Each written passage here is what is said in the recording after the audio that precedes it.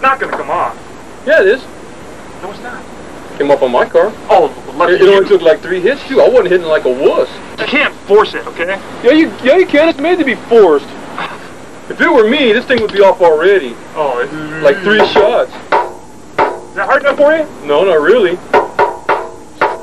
How about that? Give me the hammer, man. I'll show you how. Just look at it. Harder than that. Harder than that. No. No. Okay, okay, now wheel! Wheel on it!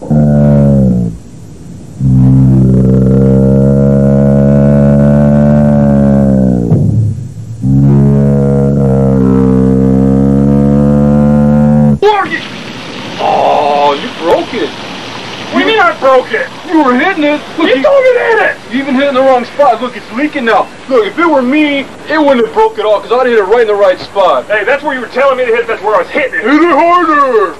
Well, you weren't hitting it hard enough, but look, you hit it in the wrong spot anyway. Now it's busted. So it'll cost you 150 bucks to get another one. I can't. Well, it's okay. You know, at least you're not getting charged or anything. Normally I charge five or ten dollars to help people out.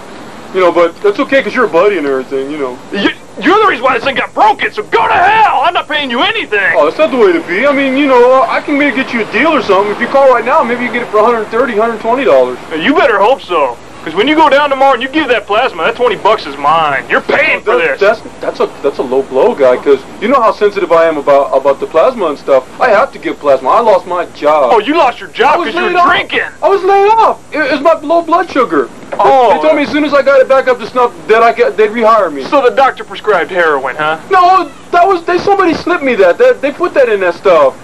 Yeah. It's like that and the PCP that was in my, my tobacco. You know, it's like if the PCP and the heroin hadn't been there and everything, I wouldn't have got fired. I, I mean, I wouldn't have got laid off. You got anything. fired because you're a junkie and a loser. That's what it was. I hope you Oh. get kicked out of your trailer.